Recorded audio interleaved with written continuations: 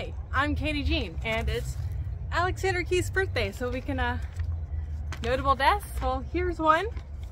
Uh, December 17th, 1873, Alexander Keith passed away due to paralysis, um, which could mean a number of things, but being 78 in 1873, he had a good run. You know, he was, he was mayor, he was Alexander Keith, um, he was part of fire insurance, which was really big in the 1800s. Like everyone who was someone was part of the fire insurance thing. Really ironic when it comes to December 6, 1917. They didn't last much longer than that. Uh, but yeah, yeah.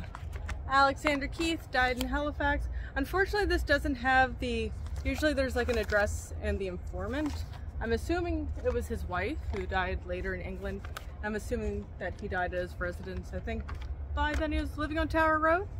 Uh, but yeah, yeah.